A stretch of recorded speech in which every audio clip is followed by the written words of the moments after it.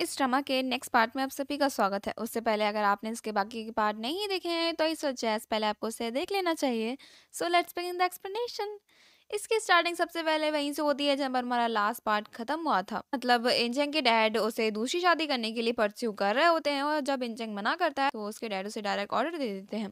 और कहते हैं कि किंग का ऑर्डर तो तुम मना नहीं कर सकते, तभी इंजंग को ना चाहते हुए भी मानना पड़ता है। तभी हम लीवी को देखते हैं, जिसने की बहुत सारा खाना इंजंग के लिए प्रिपेयर किया हुआ होता है बिकॉज़ अभी अभी तो इनके लव स्टोरी की शुरुआत हुई थी। लेकिन जैसे ही वो इंजंग की शक्ल दिखती है और उसके बाद उसे ये भी पता चलता है कि आखिर कोर्ट में अभी अभी क्या हुआ आफ्टर दैट लीव एक विद अपसेट हो जाती है और इंजंग से कहती है कि आपने वादा किया था। इंजंग कहता है कि I am really really sorry और इसके बाद लीवे काफ़ी ज़्यादा अपसेट हो जाती है एंड उसका हार्ट ब्रेक हो जाता है। फिर दैट वो रोना स्टार्ट कर देती है और इंजंग से बात भी नहीं करती। यहीं पे हम इंजंग को देखते हैं जिसकी जल्दी से जल्दी शादी हो जाती है। उसकी शादी जिन स्टेट की प्रिंसेस से होती है। इसका नाम है युआनिंग यहाँ पर किंग और क्वीन तो काफ़ी ज़्यादा खुश थे कि फाइनली अब इंजंग ने प्रिंसेस से शादी कर ली है तो उसकी पोजीशन भी काफ़ी ऊँचे लेवल तक उठ जाएगी। लेकिन इंजंग तो बेचारा अपनी ख्यालों की दुनिया में, यहाँ पर क्वीन कहती है कि तुम दोनों को अब एक मैरिड लाइफ अच्छे से चालू करनी है।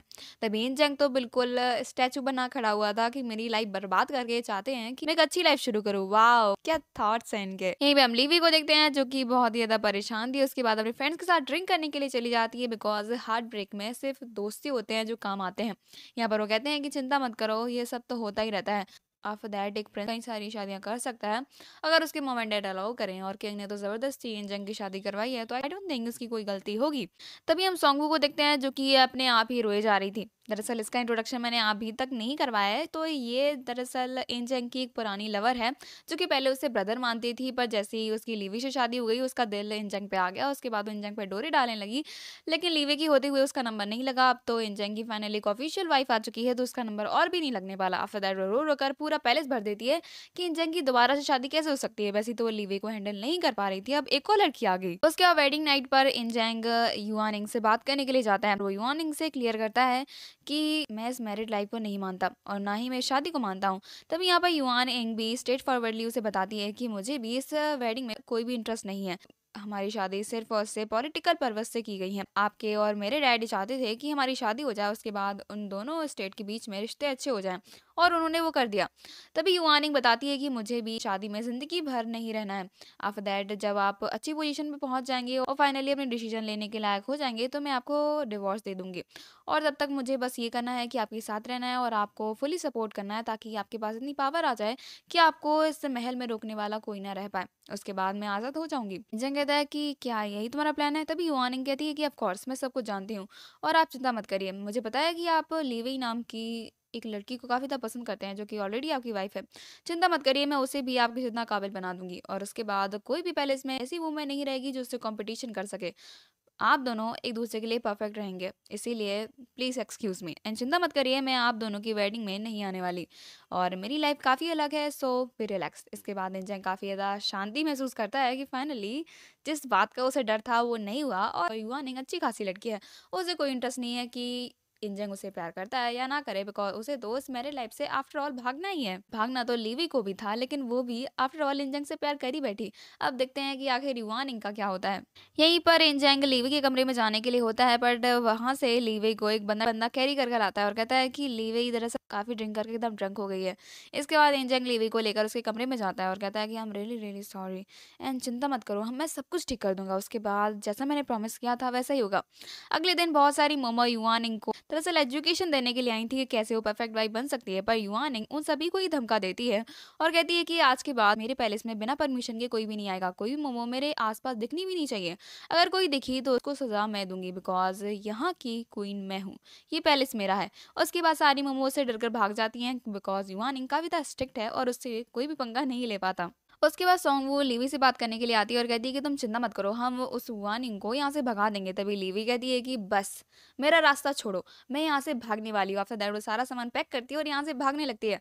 अगली पल उसे बुलावा आ जाता है कि दरअसल उसे युवानिंग बुला रही है। इसके बाद लीवी युवानिंग से बात करने के लिए जाती है। यहाँ पर युवानिंग उसे कहती है कि तुम चिंता मत करो, मेरा तुमसे कोई भी कॉम्पिटिशन नहीं है। आई नो कि माई लॉर्ड तुम्हें पसंद करते हैं और तुम्हें ए अपनी फ्यूचर वाइफ देखना चाहते हैं। सो मैं उसमें तुम्हारी हेल्प करूँगी। उसके बाद युवा नेंग सभी को कंट्रोल करना स्टार्ट कर देती है। लीवी को फुली डिसिप्लिन बनाने के लिए काफ़ी मेहनत करती है और उसे ये सब करने के लिए फोर्स भी करती है कि तुम्हें एक अच्छी वाइफ बनने के लिए सब कुछ सीखना पड़ेगा। और आफ्टर दैट तुम्हें एग्ज़ाम्स में भी फ़र्स्ट आना पड़ेगा।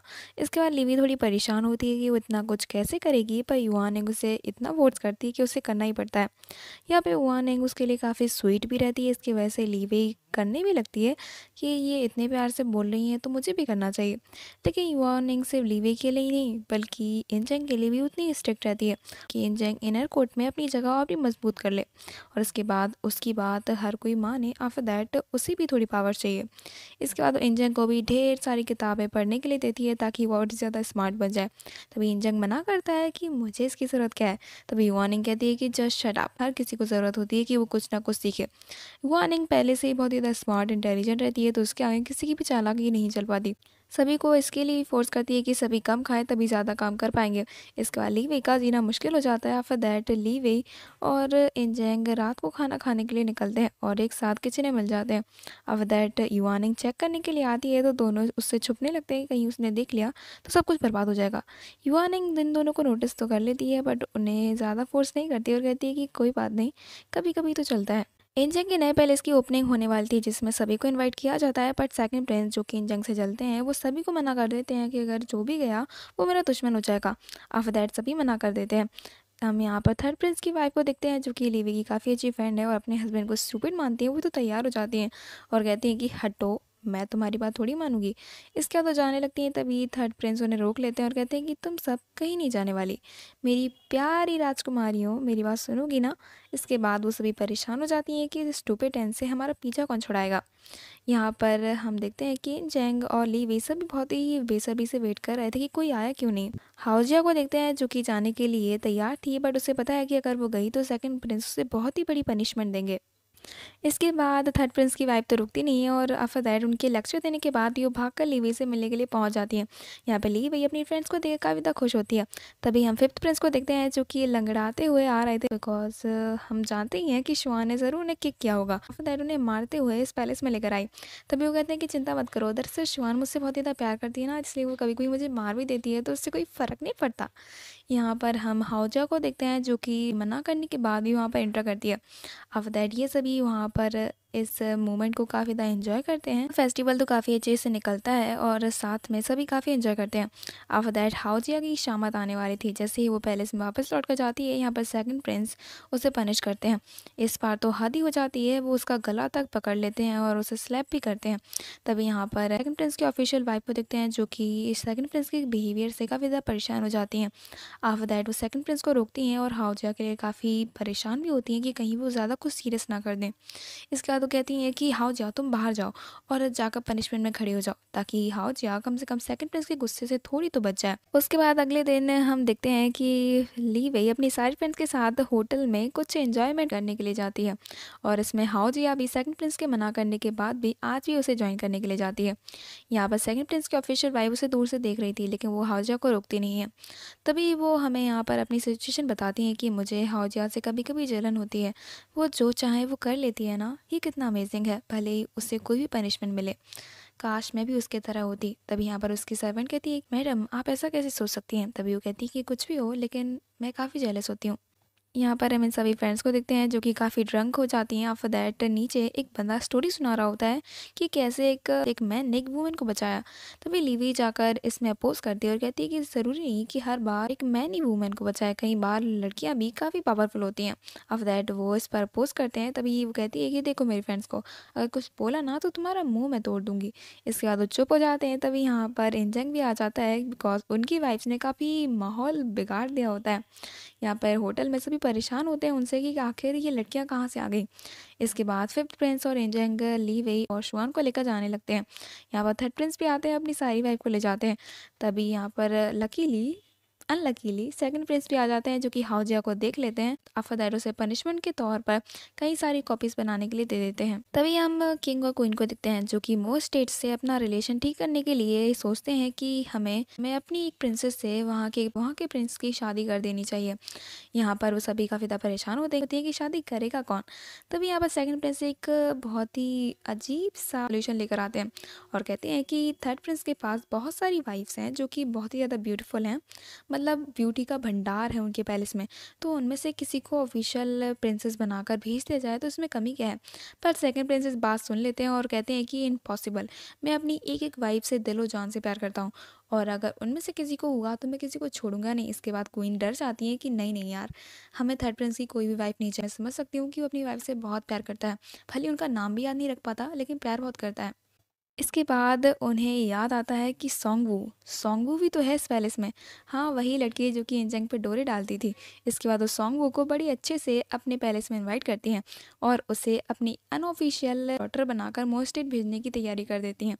इसके बाद सोंगवू परेशान हो जाती है बिकॉज़ उसे वहाँ पर जाकर शादी नहीं करनी थी। अब वो रो रो कर सारा पैलेस भर देती है कि उसे वहाँ पर नहीं जाना। ये लोग उसे ज़बरदस्ती भेज रहे हैं। इसके बाद ली वही और एंजंग अपना दिमाग लगाते हैं और उसे बीमार होने का नाटक करवाते हैं। उसके बाद वहाँ के डॉक्टर को भी कन्विंस कर लेते हैं कि सॉन्ग का ज़्यादा बीमार है तो वो नहीं जा पाएगी और उसे थोड़ा धमका भी देते हैं तो मान जाता है। और इसी के साथ हमारा ये पार्टी में ख़त्म हो जाता है। Thank you so much guys for watching